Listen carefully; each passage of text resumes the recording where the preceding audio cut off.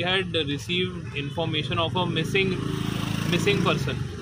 The missing person uh, was one lady who is 35 years old, and uh, we immediately started acting on the missing report, and uh, we were able to trace the vehicle and the mobile phone uh, of the missing person, and we were able to speak uh, to the mother who had given us some insight in the matter and we identified a suspect whose name is Gaurav Bidre.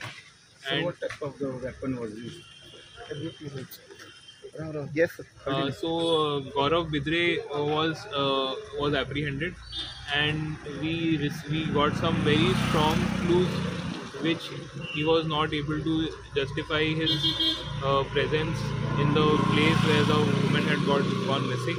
He was interrogated, and uh, upon interrogation, uh, he has confessed uh, that he was having an affair, a relationship with this lady, and that lady was trying to uh, trying to get away out of the relationship or was not responding to his advances, and he had taken the advance. He had taken this uh, step, uh, and therefore he has killed her.